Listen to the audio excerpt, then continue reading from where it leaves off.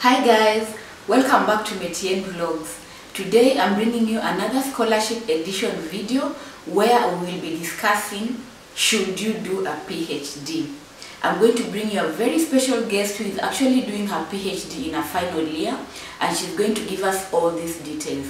What is a PhD? How long does it take? What are the opportunities that someone can find? Should you actually do a PhD? And all these questions you may be having about a PhD. If you're interested in this kind of information, stay tuned to this video.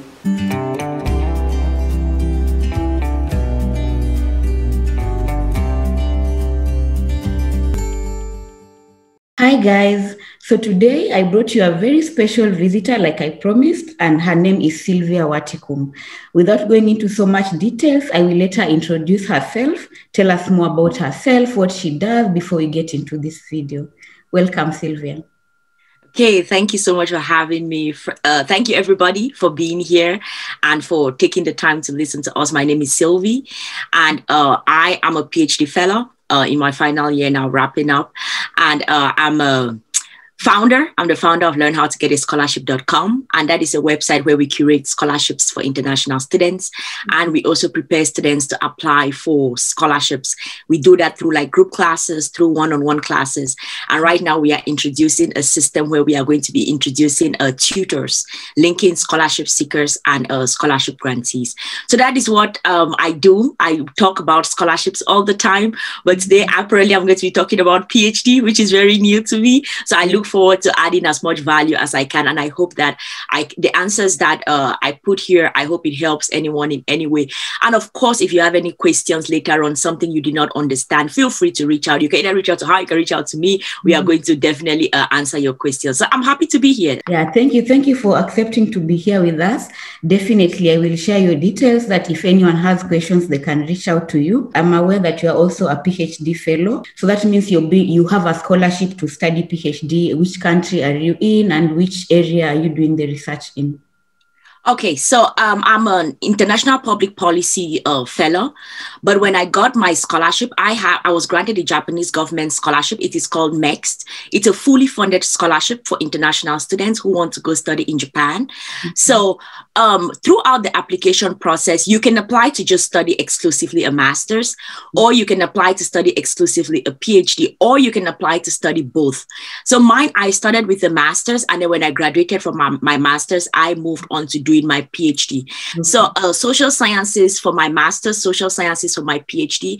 So if anyone, if there are any questions in terms of like social sciences, doing a master's, doing a PhD, I can definitely provide a lot of insights. Wow. Maybe in future we'll do something more into social sciences and the subjects. Uh, mm. But today I wanted to find out specifically generally about PhD. What does PhD stand for? And what are some of those things you do when you're undertaking a PhD course? All right. So um, I come from a, a, country where we speak English and French. Mm-hmm. So um, I always understand PhD from the perspective of the French language because they always talk about doctorat, like you are doing like a doctorate program.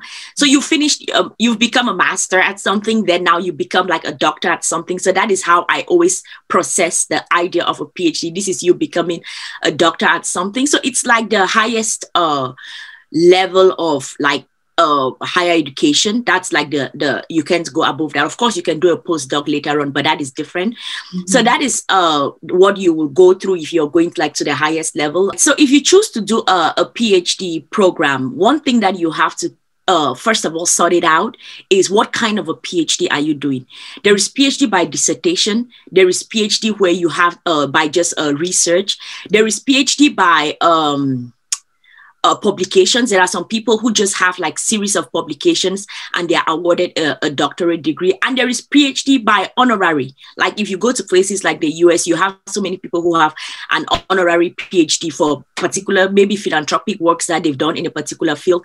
And then there is a normal other uh, PhD where you have both coursework and then you have like research to do. But most times when you get a PhD, it is really that stage where even if you have coursework, it's going to be very minimal very very minimal.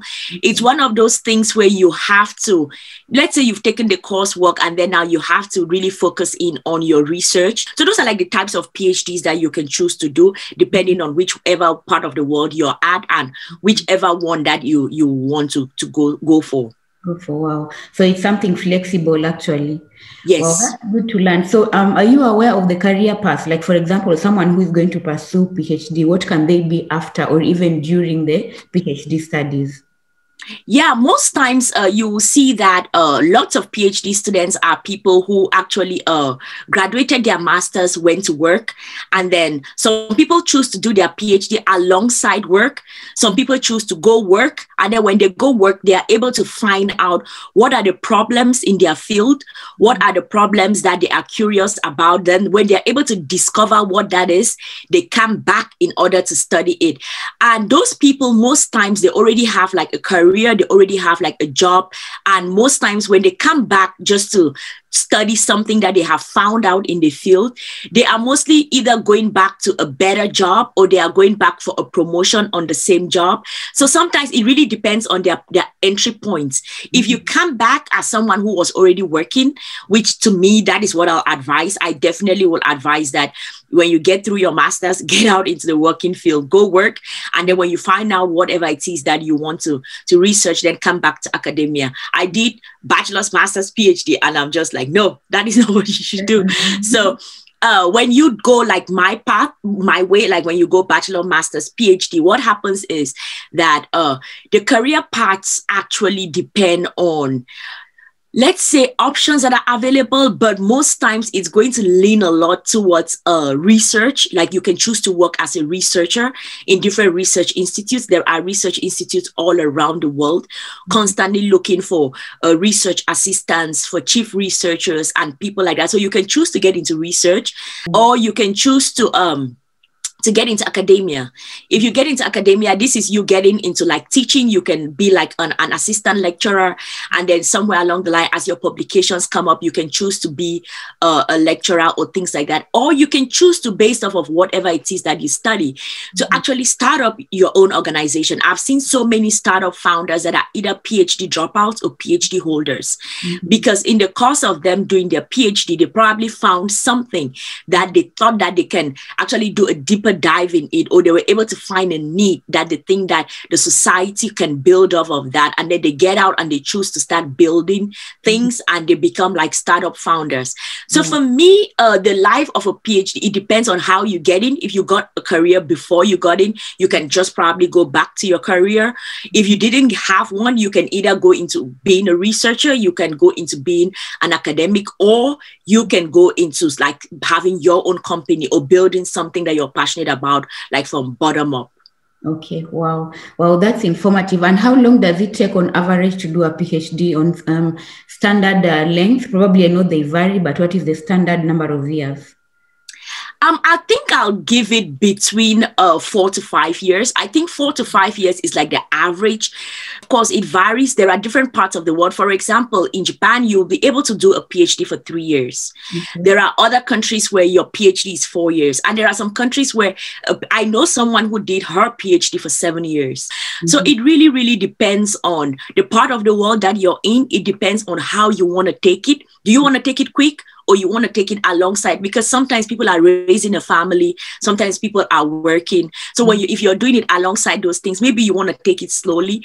Or mm. if you're coming back where you've already set up like you already have things that you, you you're passionate about already set up like maybe family and things like that you can mm. just come back and go as quick as possible. So but in average, I'm going to say that maybe four to five years. Wow. Wow. Okay. So, lastly, I'm going to ask you to give us um, your opinion. Would you recommend someone to take PhD? What are the pros and the cons briefly so that um, at least it can inform us uh, if we want to dig deeper into pursuing a PhD or we think um, maybe that's not for me? I think that um, you should think about it. Think mm-hmm. about your why think about why you're doing a PhD. Let it not be for the very um, shallow reasons mm-hmm. why you're doing the PhD. You should be able to look within yourself and find out your why. Because sometimes we always say a PhD is a journey of lows and more lows. Mm-hmm. In life, we say that life is made up of highs and lows, right? But in PhD, yeah. we say it's like made up of lows and more lows. Mm-hmm.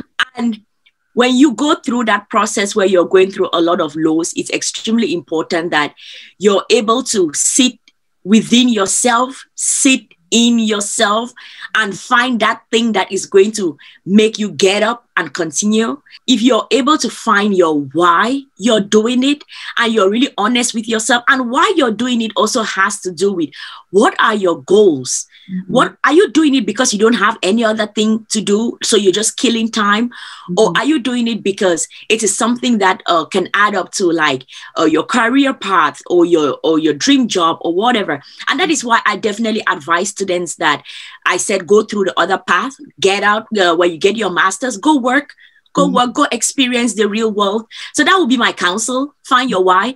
And sometimes finding your why is not just going bachelor, master's, PhD. Sometimes mm. finding your why is going out into the world, go looking for a problem, and then you come to see how your studies can solve that problem. Wow. Well, I think that's very informative. Thank you so much for taking your time to explain to us. I'm sure people will have many questions to ask. So definitely I will link your channels so that they can be able to come to ask you questions. So thank yeah. you, Sylvia, for creating time to be with us. I hope we can do many more of these to get to learn deeper and deeper into such topics, you know. Yeah. I am I am always available whenever you all have questions about PhD and going through or any other topics, scholarships, anything. I'm always ready, willing. Anyone you can DM me on on Instagram and if you have a question, and I'm definitely going to answer your questions. All right. Thank you so much. As I promised, there you have it. All the information you needed to know about PhD. Did you enjoy the video? Please feel free to let me know in the comment section below, like and comment on this video. And of course, Sylvie has a channel here on YouTube where she talks about scholarships, opportunities, and all these things related to her organization called Learn How to Get a Scholarship. I'm going to link it in the description box below. The name is called Learn How to Get a Scholarship. Feel free to contact her contact me as well if you have any more questions and we'll be very ready to assist you where we can. I hope to see you in the next one. Thank you. Bye bye